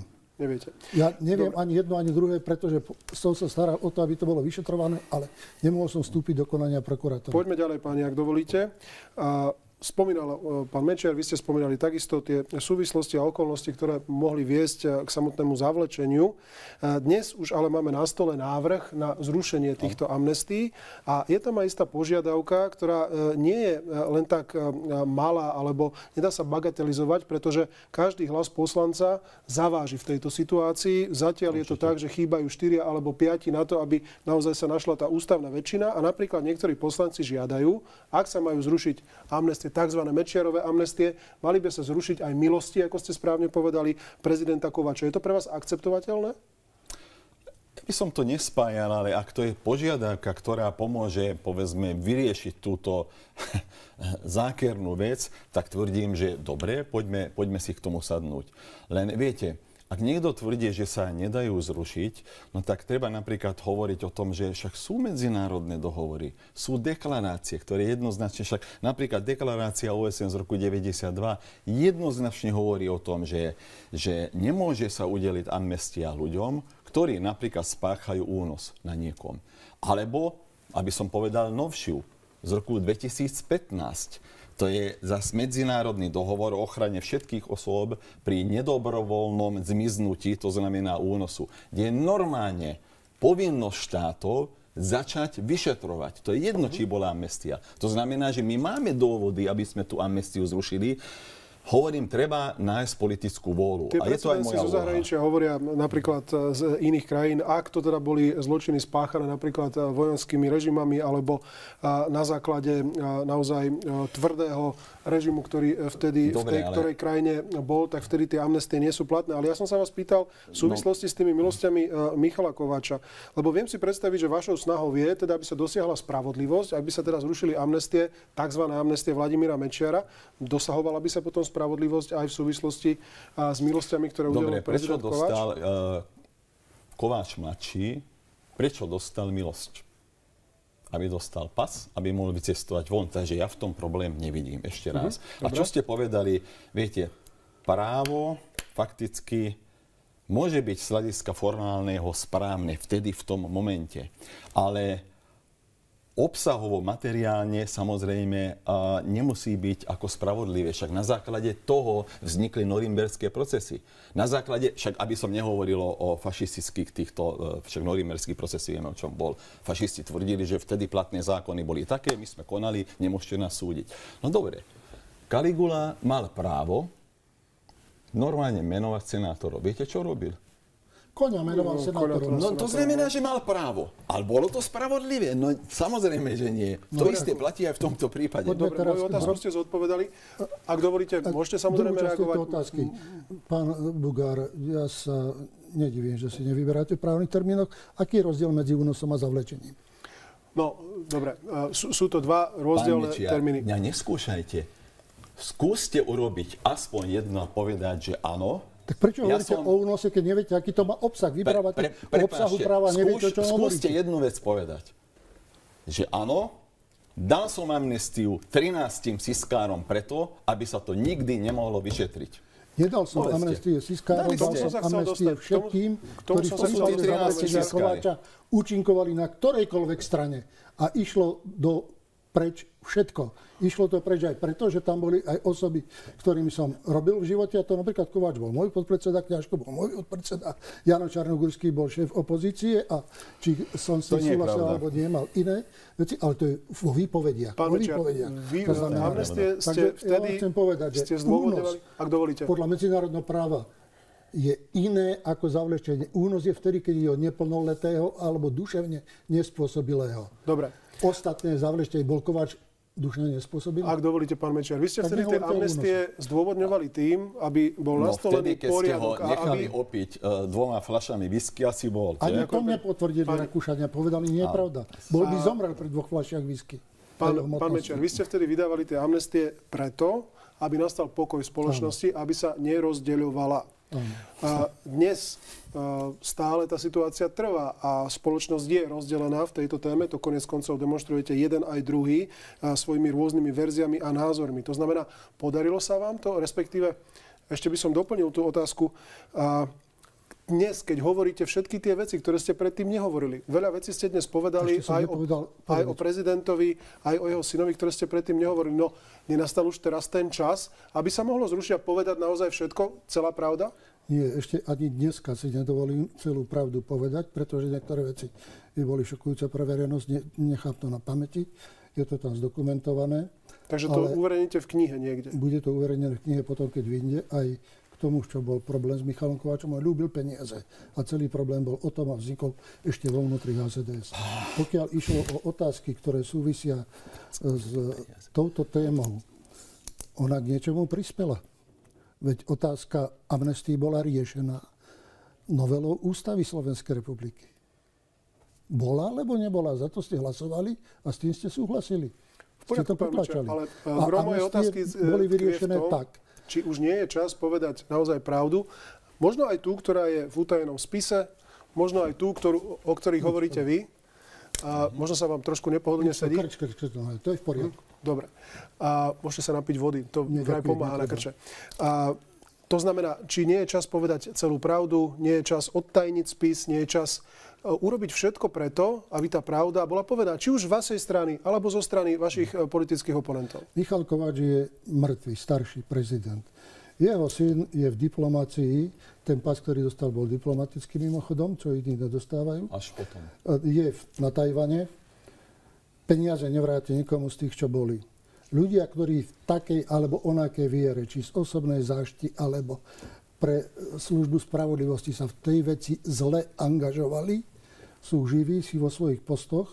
S niektorými som mal vzťahy veľmi dobré, s niektorými neveľmi dobré. No ale keď hovoríte napríklad o pánovi Sviechotovi, že mohol, mohol veľa vecí urobiť, tiež už nežije. E, nech mu je ľahká, samozrejme. Ja som vždy zverejňoval, ale je že pravdu? Sviechota Jaroslav nesmie byť prítomný v miestnosti, kde som ja nesmie byť v dohľade mojich očí. Bol som vždy proti tomu, že pracuje v Slovenskej informačnej službe. Riaditeľ ho prijal, čiže v služobnom pobere mohol byť, do funkcie námestníka nikdy schválený nebol, nikdy by cez mňa cez vládu neprešiel. Dobre, a nie je čas už povedať všetko vec. teda? Nie je čas povedať všetko, pretože niektoré veci sú také, že e, by sme spochybnili v podstate politickú stabilitu tohoto štátu a systému. Ďakujem ja pekne. Pán ja Bugár, si, ja si to, to nemyslím. Ja si to nemyslím. Viete, problém je v tom, že aj teraz Otázka, ste povedali... To, čo vieme. A, však práve. Teraz ste povedali z prúšku neprav. Ja dokonca tvrdím, že v prípade pána Kováča nebo jeho klamete. Hovoríte, že jeho problém bol v tom, že ľúbil peniaze. Áno. Prepášte, pán Mečiar, ak by to bolo tak, tak by nepotrebovala vláda Ivety Radičovej, vláda, druhá vláda uh, pána Fica, prispieť mu napríklad na liečenie, lebo nemal peniaze. Tak mi nehovorte, že e, on lúbil peniaze. Keby lúbil peniaze, nemá problém, nemá problém, ako nemáte vy. Dobre, páni, e, pán Bugár, e, hlavný ideológ strany Smer sociálna demokracia Marek Maďarič, Počul som, ktorý viedol naozaj mnoho volebných kampaní a teraz už aj hovorca predsedu vlády, Erik Tomáš, kolega z Národnej rady a poslanec Národnej rady, pripustili zrušenie amnesty. To znamená, dnes už to nie je na vôli pána Vladimíra Mečiara, je to na vôli tých konkrétnych ľudí a 90 z nich, ktorí teda môžu pridať svoj hlas a, a prispieť k tomuto zrušeniu. Ako sa vám pozdáva tento prístup? Myslíte si teda, že sa blížime k tomu bodu, keď naozaj amnestie, tzv. Mečiarové, budú zrušené, a vnímate to ako zmenu postoja strany Smer sociálna demokracia v tejto otázke? Doteraz tvrdili, že to nie je možné. Doteraz som aj ja tvrdil, že ako ja môžem presvedčiť právnika, ktorý je presvedčený, že sa to nedá. Po týchto vyjadreniach tvrdím, že znovu začnem presvedčovať. To znamená, že však budeme mať aj koaličnú radu, budem sa tam pýtať. Ja si myslím, že je možnosť. Pokiaľ je len trošku vôle, tak netreba veľa hlasov. Uh-huh. To znamená, že tam stačí 10 hlasov k tomu, čo sme mali napríklad pri, pri uh, hlasovaní do druhého čítania a je 90. A čo hovoríte na ten návrh, e, ktorý e, teraz prezentoval pomerne originálnym spôsobom predseda vlády počas cesty autom, že teda najprv by sa mal na to pozrieť ústavný súd a až potom by mal rozhodnúť parlament. Je to akceptovateľné no, pre vás? Problém, problém je v tom, že najprv musí byť vypracovaný materiál, s čím by sa malo ísť na ústavný súd. A tam vidíme jeden, ináč aj môj kolega Kresák to hovorí, jeden problém, že Národná rada zatiaľ nie je účastníkom tohto sporu. To znamená, že ak príjmeme zrušenie e, teda amnestii. V tom momente už sme účastníkom, tam hoci ktorý poslanec, tak ako to bolo v prípade napríklad e, pána Zurindu, keď, keď zrušil amnestie, tak vtedy poslanci HZDS sa obrátili na, na ústavný súd a ústavný súd, teda prvý senát pána Šafárika sa rozhodol tak, ako sa rozhodol. To znamená, že potom je to možné urobiť. Ja si myslím, že oveľa rýchlejšie, lepšie by bolo, keby sme najprv zrušili amnestie. A to hovorím aj preto, lebo tá spoločenská objednávka narastá. Zoberte si, že napríklad len via Juris za jeden deň 30 tisíc ľudí sa ozvalo a písalo, že, že oni sú za zrušenie. Za jeden deň 30 tisíc. To znamená, že ľudia Dobre, to cítia na tento ako konkrétny návrh Roberta Fica? Pretože keď ste spomínali Senát pána Šafárika, ten vtedy povedal, že zrušiť tie amnestie nie je možné v no, danom, no, v, danom, v danom právnom systéme. Ale musel by byť Nie, zmenený on právny povedal, systém. že prezident nemôže. Dobre, ale v danom právnom systéme. To, to znamená, že ak by bol právny systém, my ako ak by bol právny rada. systém doplnený novým ústavným zákonom, mm-hmm. teda ústava doplnená novým ústavným zákonom, vtedy by to reálne bolo. Ale to, eh, čo teraz navrhuje predseda vlády, je trochu niečo iné. Aby sa na to najprv pozrel ústavný súd a potom rozhodoval parlament. Je to pre vás akceptovateľné? problém je v tom, že dokedy e, bude to skúmať, a ešte nie je to vypracované, musíme vidieť, čo tam je. To znamená, že ak je niečo vypracované, to podanie, dokedy to bude skúmať, povedzme, ústavný súd. Mm. Ja neviem, pol roka, rok. Však viete, že má problémy, čo sa týka ústavných súdcov.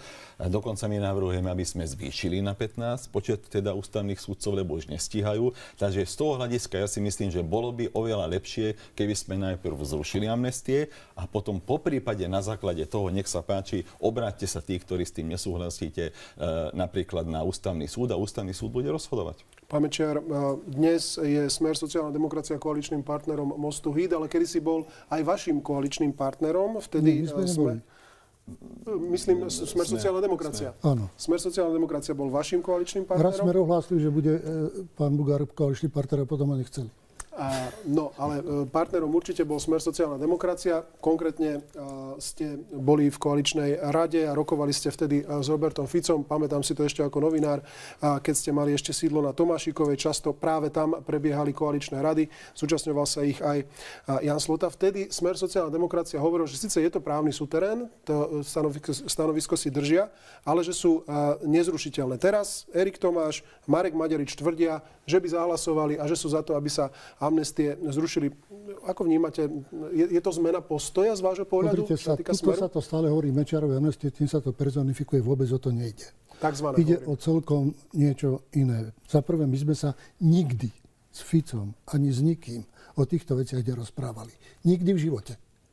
Nevyhrážal ako sa, partner. nevyhrážal sa vám kedysi počas koaličných rád, ešte myslím za tej predchádzajúcej vlády, že ak teda nebude to, tak uh, Nie. pristúpi? Nie? My sme sa nikdy Také živote informácie totiž prenikali na medzi tému ani jedna veta nepadla a ani jedna informácia nebola. Nikdy nebol žiaden rozhovor. Ale verejné vystúpenia ste videli. Teda, čo tvrdili Čo vtedy? povedal, to povedal pri podpisovaní koaličnej A čo zmluvy tvrdia dnes? hodil som rukova, nech to je tak.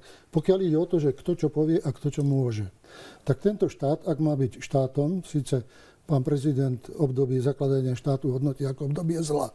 Keby nebolo to zlo, tak nemá byť čoho prezident.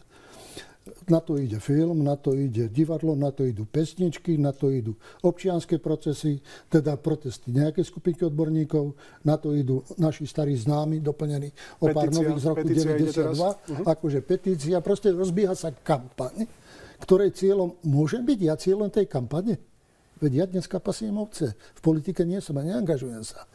1. januára tohoto roku, teda e, budúceho roku, bude 25 rokov odtedy, čo som vyhlásil Slovenskú republiku.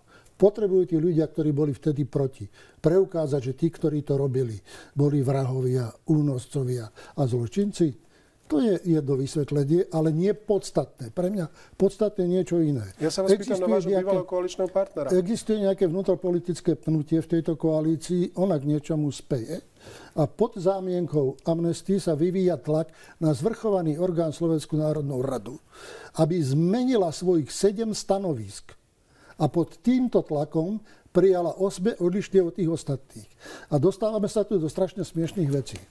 Za prvé platí ústava, ktorá hovorí o tom, čo môže Národná rada a čo môže parlament. Na čo potrebujete ústavný zákon, keď máte ústavu?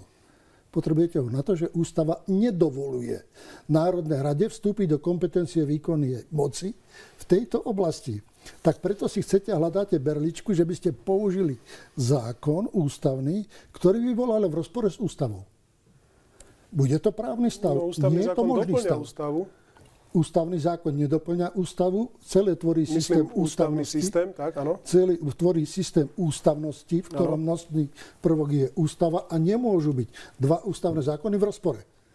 To je prvý moment, ktorý je. Druhý moment, ktorý je tu, na ktorý sa mýlia všetci, aj tí, ktorí to navrhujú a podobne, že ústava riešila túto otázku, a za to hlasoval aj pán Bugár, riešila ho tak, že zostáva toto naďalej vo výlučnej kompetencii vlády, len prezident potrebuje kontrasignáciu ministra. Čo sa zmenilo tedy, pán Bugár, keď nesúhlasíte s tým, za čo ste hlasovali? Nie je pravda. Ale to je v ústave, v tom dodatku, Hm. ktorý ste schválili.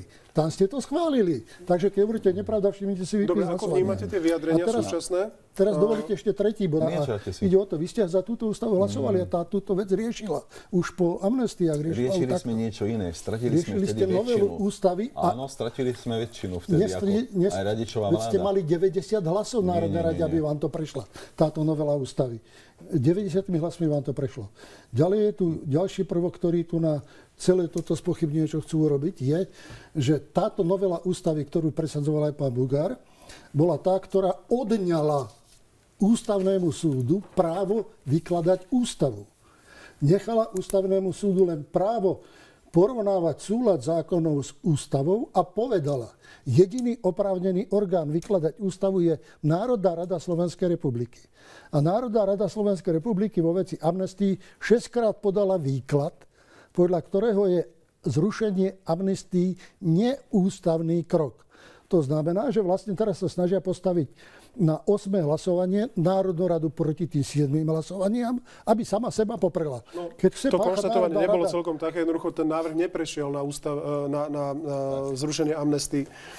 Ale kde prešiel, pretože povedala vtedy Národná rada Slovenskej republiky, že sú nezrušiteľné a no, sú zákonné. Jednoducho za to no, poslanci no, nezahlasovali. Čiže, ale ak dovolíte, ešte raz sa vrátim k tej Návrh otázke. Návrh na zrušenie amnestii neprešiel, Áno, ale pretože Národná nebol rada zákonný. nepovedala, že sú ale prečo neprešiel? Ešte raz, Lebo prečo nebola vola. Nebola väčšina. Nie, nebola vola, to nie je otázka ale, vôle, to je otázka dovolenosti. Však sa hlasuje. Môže Národná rada vo veci amnestii rozhodovať? Ja tvrdím, že nemôže, nemá na to kompetenciu. Poriadku, Dobre, teraz je to... tak potom to bude riešiť ústavný súd. Ale Budeme ani... za to hlasovať, keď to prejde, Dobre, rieši ústavný súd. Teraz vám poviem zase ďalšie veci k tomu. Ďalej je tu kompetencia brzd a vzájomných pák medzi vládou a parlamentom. E, títo zástancovia toho zrušenia amnestii hovoria, že parlament môže zrušiť individuálne rozhodnutia vlády zákonom, ktorý je určený na veci toho istého druhu, ale neurčitého počtu. Dobre, pripúsme teraz, že budúce voľby teoreticky vyhrá terajší opozičný poslanec povedzme, za ľudovú stranu. A ten využije tento precedens a zruší rozhodnutia ktorejkoľvek vlády 20 rokov naspäť, lebo to neplatí. Ďalej je tu ďalšia vec, že každý skutok, ktorý je skutkom nebezpečným pre spoločnosť, podlieha nejakým zákonitostiam vývoja. A hodnotí sa, skutok je nebezpečný pre spoločnosť a jeho nebezpečenstvo zaniká. Za prvé časom a je odvtedy 20 rokov. Čiže už tam zanikajú aj vraždy, nie len toto. Za druhé, rozhodnutím príslušného orgánu. A rozhodnutie príslušného orgánu e, bolo vydané. E, Ústavný súd Slovenskej republiky podal, že je zrušiteľné. Mm-hmm. A za tretie, je také pravidlo, ktoré vy nemusíte, pán Bugár, vedieť pri e, tom, že koľko ste v Národnej rade, že ak zákon, ktorý dáva výhodu zániku trestnosti, bude nahradený zákonom, ktorý ho obnovuje, pre postup orgánu činných v trestnom konaní platí ten prvý postup. Ak už raz bol ten e, zákon o tej nižšej spoločenskej nebezpečnosti prijatý, tak už nemôžno ho nahradiť novým zákonom. Pán Mečer, opýtam sa ešte, ešte trochu ináč. Ako si vysvetľujete tú zmenu postoja, deklarovanú e, naozaj pomerne vplyvnými e, osobnostiami zo strany Ja si myslím, že tu prebieha veľmi špinavý vnútropolitický zápas o zmenu aj politickej skladby vládnej koalície aj o zmenu politického systému. Ja som tam taká figurka, s ktorou sa pohrávajú a mena, ktorého kopú z jednej strany na druhú, čo som si za tie roky naučil, lebo mi bolo pripísaných toľko vecí, o ktorých som ešte do dneska nepočul všetkých, nie že som bol účastníkom, ale táto zmena systému nie je možná bez narušenia základných systémových vzťahov, ktoré pokračujú ďalej. Dobre. Ďalej sa hovorí, že na výkonnej moci... Pán Večer, musíme dať rovnaký priestor pánovi Bugárovi. Ďakujem Nech sa bráni. Pán Bugár, ako ja, vy ja vnímate eh, tie vyjadrenia, vyjadrenia vplyvných predstaviteľov strany Smer sociálna demokracia? Je tu väčšia šanca, teda, že sa podarí to, čo vy chcete, eh, presadiť eh, túto zmenu 90 a viac hlasmi v no, Hneď budem odpovedať, ale pán Mečiar, viete, na rozdiel od vás, ja sa brániť nemusím. Vy hovoríte o tom, že prebieha tu nejaký špinavý boj No samozrejme, opozícia vždy bojuje s vládnou koalíciou, lebo vnútri vládnej koalície žiadny boj, ktorý, byl to, ktorý by bol tohto alebo iného charakteru, neprebieha. To vám môžem zodpovedne povedať. Že sú sem tam nejaké názory, rozdiely, však sme tri strany. A, takže to je jedna vec. Druhá vec, viete, nehovoríme o rozhodnutiach vlády. Teraz riešime amnestie. To a nie je pravda. Vlády. Nie. Riešime amnestie. Amnestie, ktoré samozrejme vlády. môže, nie, ktoré môže jednoznačne len prezident udeliť, alebo aj milosť. A riešime to, či to môže dodatočne zrušiť Národná rada. Vláda tam nemá čo hľadať. No a A nie je pravda, čo hovoríte, že ústavný súd povedal, že sú nezrušiteľné amnestie. Nie. Ústavný súd povedal len jednu jedinú vec, že prezident alebo zastupujúci prezident nemá právo a možnosť dodatočne meniť alebo zrušiť. Preto e, na, na poput poslancov HZDS vtedy Šafárikov Senát toto vydal, ale nehovoril o tom, že sú nezrušiteľné, len zastupujúci prezident nemôže. A čo sa týka uh, povedzme Smeru, ja si myslím, že aj tam si uvedomili, že je tu spoločenská objednávka a rozmýšľajú, ako túto, túto otázku vyriešiť. Ja dokonca si myslím, dúfam, že na koaličnej rade o tomto budeme hovoriť. Ak, ak uh, dojdeme uh, k tej spoločnej myšlienke, tak aj smer, poslanci Smeru môžu zahlasovať za zrušenie. Vy s tým prídete na koaličnú radu, Samozrejme. budete sa pýtať priamo predsedu strany Smer sociálnej Áno, lebo však dvaja, pozrite sa, však pán Maderiš nie je hocikdo dobre vieme. To znamená, ak on má takýto názor, predpokladám, že niektorí ďalší poslanci, ktorí ho nejakým spôsobom si vážia, určite majú taký istý názor. Mm. Alebo poslancom je Erik Tomáš. Keď aj on má podobný názor, to znamená, že je niečo, nejaký posun v smere.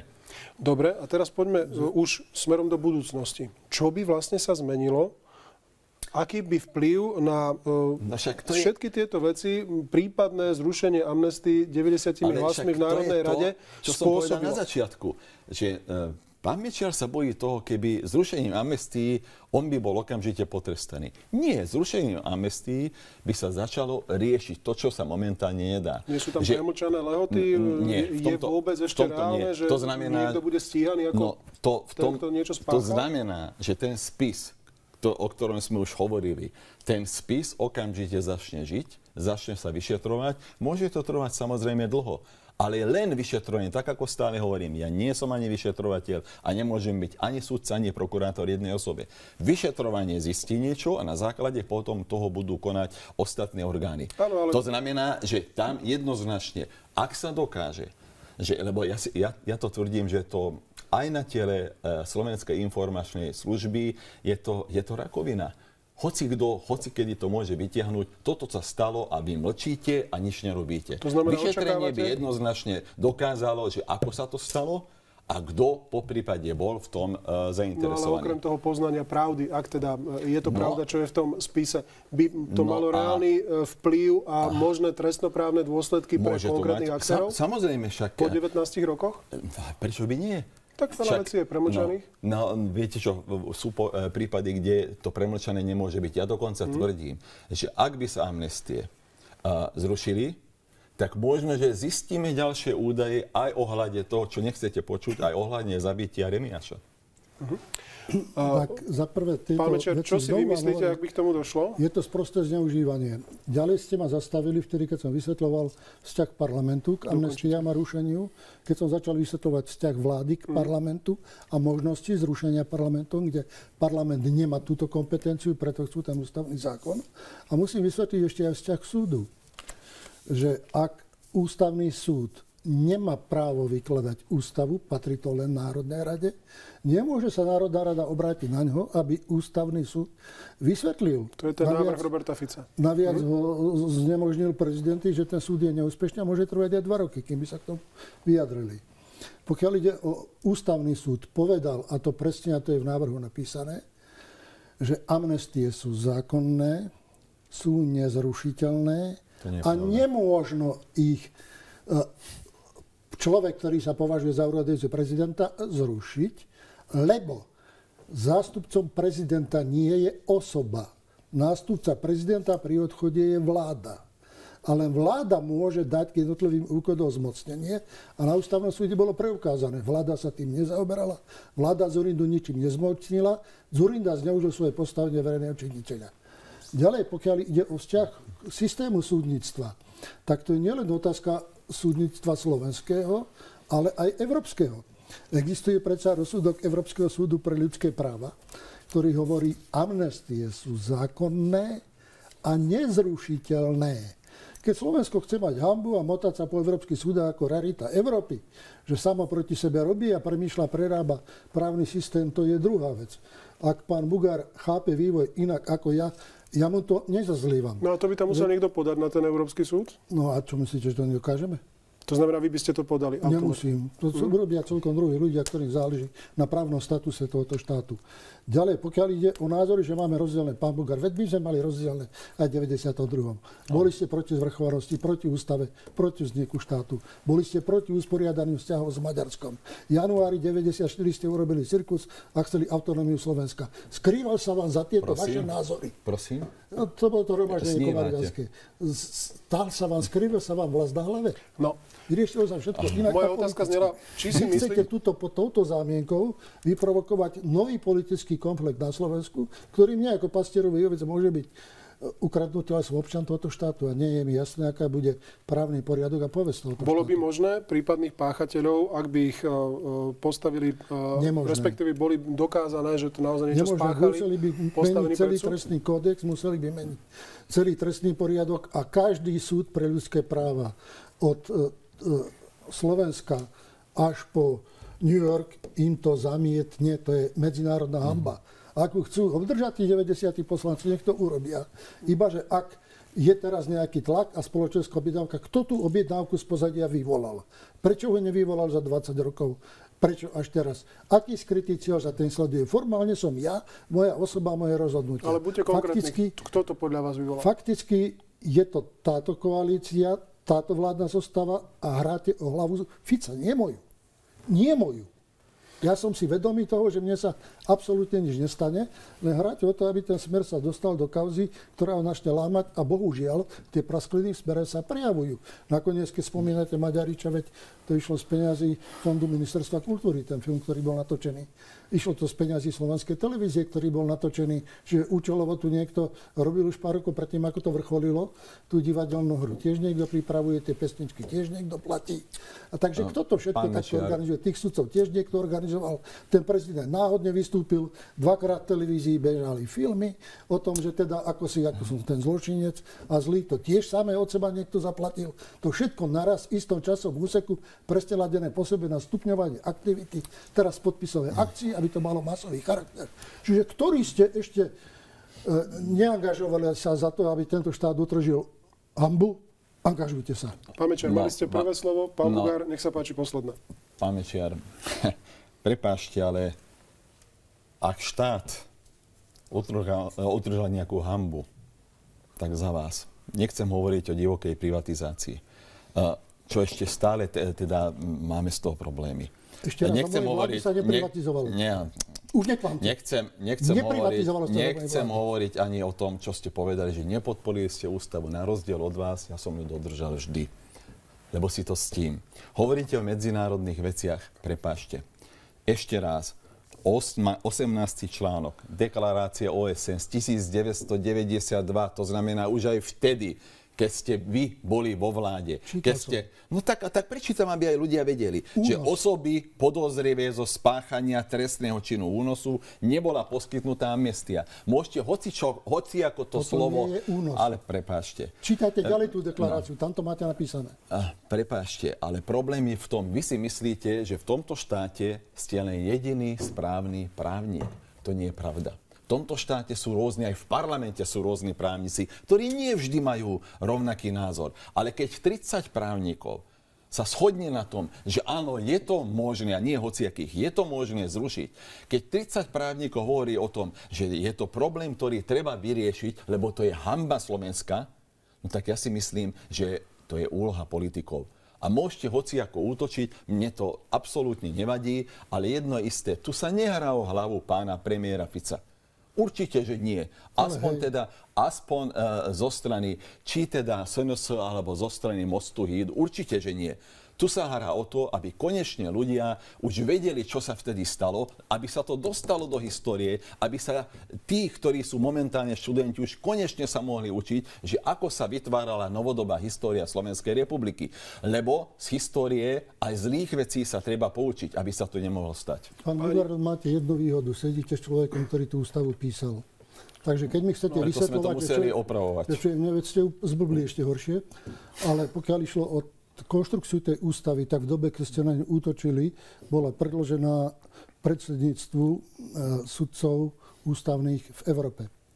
A predseda tohoto zoskupenia povedal, prečo sa vy chcete porovnávať s inými? Nech sa iní porovnávajú s vami. Najvyššie ústavné autority v Európe povedali niečo iné, ako tvrdíte vy. Takže ja som rád, že sa cítite tak dobre, že ste viac, len e, viete, a vaše poznanie má ja... obmedzený dosah. Ja som to nepovedal. Ja som hovoril o ústavných právnikoch, nie o sebe. Ja nie som právnik. Ústavní právnici hovoria niečo iné. Právnici 30 hovoria niečo iné ako vy. A vy máte pravdu. Vy dneska hovoríte, že Vy sa máte čoho báť. Podľa mňa preto to chránite. Nie, nemám sa čoho báť. Ale potom povedzte. Vy dneska hovoríte, že nejde o Ficovú hlavu, len vidíte vy dva kroky dopredu. Keby ste ich videli 10, tak by ste pochopili trošku viacej. Ale ja vám to nemám za zle. Páni, dostávame sa naozaj mimo dnešnej témy. Veľmi pekne vám ďakujem za to, že ste boli ochotní prísť eh, do dnešnej témy dňa. Ďakujem veľmi pekne Vladimirovi Mečiarovi, ako aj Belovi Bugárovi. Želám vám príjemný večer, páni. Ďakujem aj ja a všetko dobré poslucháčom. O veľa rokov sa možno stretneme. Alebo ja, že znovu začnete, že idem od vás. Páni, ďakujem.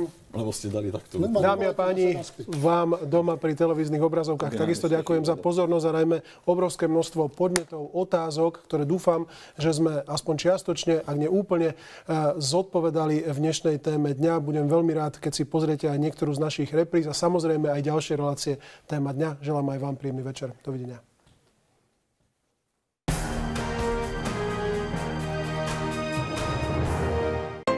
Fasíským novonavrhnutý pán Mitra bol schválený. Lexa tam nebol. Ďalej musím pokračovať v tom, že nezhodli sme sa v celkom námestníkoch, ktorý, kde navrhoval Mitro svojho námestníka, človeka, o ktorom som vedel, že je angažovaný v iných spravodajských službách. To bol celý problém okolo Sisky v tom čase. Žiaden iný nebol.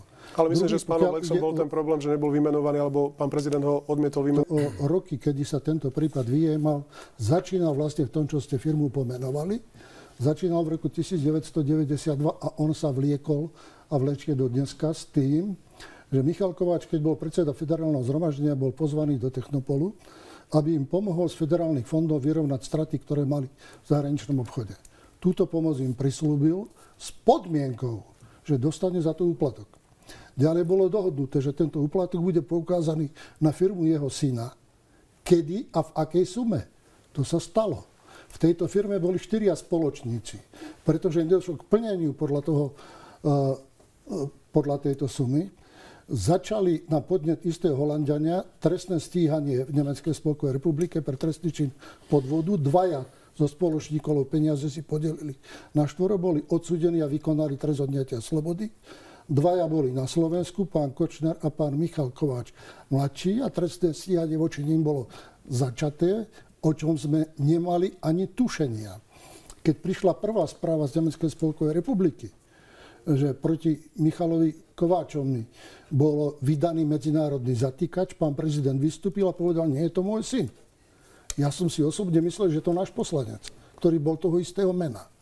Pokiaľ išlo o ďalší vývoj, tak musíme povedať, že vlastne sme sa touto vecou nezaoberali a bola nám cudzia do doby, kým minister vnútra na istej porade na Južnom Slovensku, kde bol prítomný generálny prokurátor, ja, predseda parlamentu, minister vnútra, neprišiel a neopýtal sa nás, že či bude politická prekážka, ak začnú trestné stíhanie Michala Kováča mladšieho pre podozrenie z viacerých finančných myslím, že na druhý deň už sme mali dosť informácií. Neboli síce overené, ale informácie, ktoré hovorili o tom, že čo sa stalo. Za tým samozrejme každý z nás hľadá niečo, lebo to sa len tak nemôže stať. Však ten prípad sme sledovali. Keď, keď si zoberete, že fakticky prípad Technopol sa začal v 92. roku. Ale tie vzťahy, ktoré povedzme Vtedajší premiér, pán Mečiar, mal napríklad s vtedajším prezidentom Kováčom, sa vyhocovali. Však pán e, prezident Kováč napríklad odmietol vymenovať pána Lexu za uh, riaditeľa SCF v 93. roku. Potom, uh, po ďalších voľbách v 94. roku, uh, vtedajšia vaša vláda zmenila zákon na, základe toho Lexa sa stal potom riaditeľom SCS a dokonca vtedy už, už boli prvé náznaky také, že, že pán Kováč je nežiadaná osoba. Však vieme, čo všetko na jeho adresu to potom bolo povedané. to ako vývoj? No No a to znamená, že ten vývoj vyzeral tak, že je tu napätie a to napätie nejakým spôsobom niekto chcel vyhrotiť. A nakoniec, však keď si zoberiete, kedy bol unesený uh, Kováč mladší, ak to môžem takto povedať. 31. augusta 95. A 30, teda 12. septembra 95 bolo zorganizované na nemeckom veľvyslanectve normálne pred nemeckým prokurátorom, aby mohol vypovedať tu na Slovensku, tu v Bratislave. Uh-huh. No nakoľko bol unesený, samozrejme, ako keby sa niekto bál, že povie to, čo je pravda. Že on nikdy nebol zamestnancom Technopolu, že nemôže byť obvinený z toho, čo, z čoho je obvinený a dokonca ho obvinuje človek, ktorý v úvodzovkách bol najatý. Ďakujem pekne. Pán Mečiar, dnes už málo kto popiera, že sa na tomto čine zúčastnila Slovenská informačná služba. Čo si o tom myslíte vy? Popierate to, alebo príjmate túto informáciu? Prípad má nejaký vývoj. Musím pána Buchara opraviť. Je podstatne mladší, ale pamäťovo horší. V roku 1993 bol za šéf... Za ne ďakujeme a dúfam, že mnohé z nich zodpovieme aj v dnešnej diskusii. Pán Mečiar, je dobre začať od počiatku. Kedy a od koho ste sa dozvedeli o zavlečení prezidentovho syna do zahraničia? Od ministra vnútra o polnoci toho dňa, keď sa to stalo. Podstatne nie je v tom, že kedy som sa dozvedel, podstatne je niečo inom. Ale prvý krok, dovolte, aby som poďakoval šéfovi vašej televízie a vám osobne, že ste jediné médium, ktoré mi za roky dávajú šancu verejne vystúpiť a obhájiť sa, hoci útoky trvajú niekoľko rokov, bez možnosti mojho vyjadrenia. Ďakujem. Druhá vec je, ktorá súvisí s amnestiami, že sa zbytočne hovorí o amnestiách, pretože amnestia bola len jedna. Nevydal som ho osobne ako predseda vlády, pretože kompetencie z prezidenta prechádzajú na vládu a v rokovaní, ktoré bolo v prezidentskom paláci, to znamená bez ozvučenej techniky, kde sme rokovali o prevzatí kompetencií prezidenta, sa rokovalo o viacerých veciach a okrem iných na záver aj o politickej situácii a problémoch, ktoré za vlády pána prezidenta vznikla, čo sme hodnotili ako politické a kriminálne e, problémy jeho rodiny, ktoré sa spolitizovali a zasvinili celé Slovensko. Pán... Takže v snahe vyriešiť toto vláda schválila jednu amnestiu. Dobre, potom eh, bola opravovaná, ale musíme ísť nebola, postupne. Pardon, musíme ísť postupne. Opravovaná. Došlo k tomu, že vláda schválila text amnestie, ale ako sa stalo, uložilo ministrovi spravodlivosti a mne zabezpečiť publikáciu, ministerstvo vydalo iný text, ako vláda schválila. Takže bolo treba Preto urobiť iný text. akt, neplatný akt, a preto potom bolo vydané rozhodnutie vlády v takom znení, ako bolo prijaté, to, čo označujú za druhú amnestiu, čo je vlastne jediná amnestia. Ďakujem pekne. Opäť krok po kroku. Kedy ste sa, pán Bugár, a ako si na prvé informácie o tomto čine spomínate vy? Tak samozrejme, ja som bol vtedy poslancom. Tak... Spáchané v súvislosti so zavlečením Michala Kováča mladšieho do cudziny. Mečiar amnestiami zabezpečil únoscom beztrestnosť. Tu by mohla zrušiť zmena ústavy. Ani jeden z doterajších pokusov však neprešiel. Rozhodnutie je, že skutok sa nestal. Rozhodol o tom ten, kto je oprávnený rozhodnúť. Ostatní ste gagají, tárají a pre mňa prdusí. Odpustil som to, čo mi spôsobil i mojej rodine E, v tom čase riaditeľ SIS aj s vedomím pána predsedu vlády Mečiara. To, čo chcem povedať, to nie je túžba po pomste, ale to je túžba po e, spravodlivosti. Na zmenu ústavy treba 90 hlasov. Tie sa doteraz nenašli aj pre postoj strany Smer. My máme veľký problém s Mečarovými amnestiami z hľadiska morálneho, etického, ale naďalej držíme právny názor že nie je možné amnestie právne zrušiť. Po nedávnej premiére filmu Únos však prekvapil minister Maďarič. Postavil sa za zrušenie amnestií. Ak by som bol ja v súčasnosti v tej situácii poslanca, ktorý by o tom mal hlasovať, tak by som hlasoval za zrušenie amnestií. Poslanci budú o zrušení amnestií opäť rozhodovať. Zmenu pripravil poslanec Jan Budaj.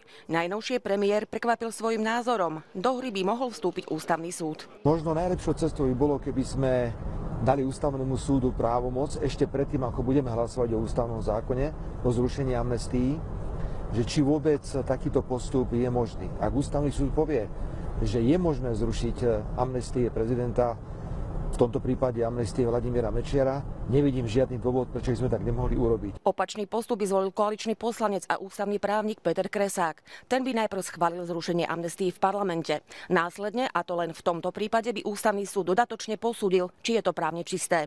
Ako sa celý príbeh skončí, tak to ukáže hlasovanie poslancov na marcovej schôdzi. Ľuba Oravová, Teatry.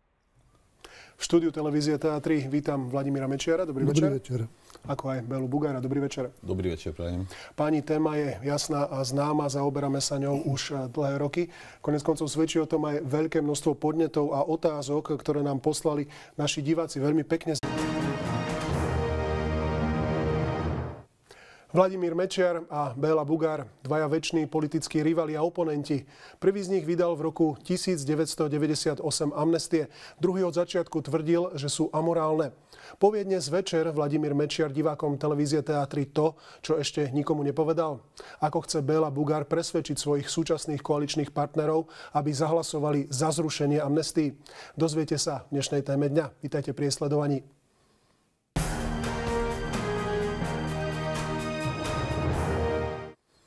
Minulý týždeň uplynulo už 19 rokov od rozhodnutia vtedajšieho premiéra Vladimíra Mečiara udeliť amnestiu za trestné činy súvisiace s únosom prezidentovho syna. Niektorí politici už roky volajú po zrušení amnestii, zatiaľ neúspešne. Tento príbeh sa však neskončil. Onedlho budú mať poslanci ďalšiu možnosť túto kapitolu slovenských dejín zmeniť. Zavlečenie Michala Kováča mladšieho mala údajne na svedomí Slovenská informačná služba na čele s Mečiarovým mužom Ivanom Lexom. 31. augusta 1995 8 muži Kováča odvliekli do auta, omráčili a opili. Ja som sa pokusil z toho auta, i keď som mal teda putátu kuklu na hlavu, vyskočiť.